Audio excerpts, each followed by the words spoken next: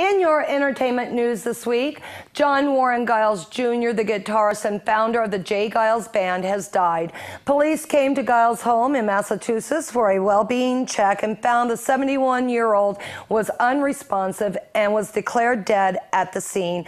Police are investigating the death as a standard procedure. Foul play was not suspected, and a preliminary investigation suggests Geils died of natural causes.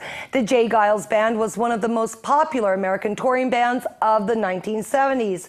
It did not achieve commercial fame until the 1980s when they released radio mainstays such as Centerfold, Love Stinks, and freeze frame.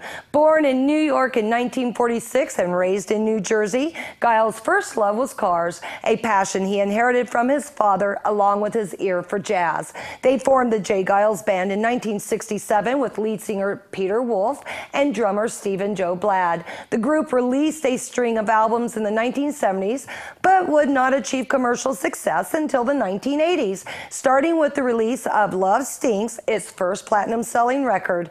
Their 12th album, Freeze Frame, featured its popular title track as well as chart topper Centerfold, which spent six weeks at the top of the Billboard Hot 100 in 1982. Comedian Charlie Murphy died Wednesday after a battle with leukemia.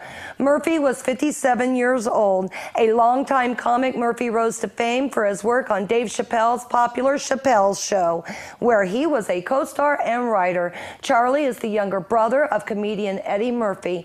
A New York City native, Murphy toured with comedians George Lopez and D.L. Hughley. The women of Star Wars are getting a chance to conquer the universe.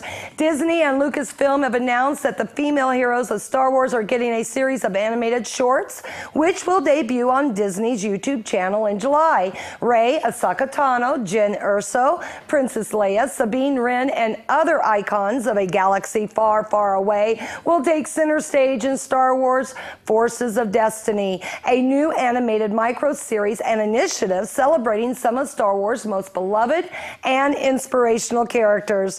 The YouTube animated shorts will be packaged with, with, with eight others for a two part TV special to air on the Disney Channel in the fall. This has been your entertainment this week. I am Alicia Cook for News 46.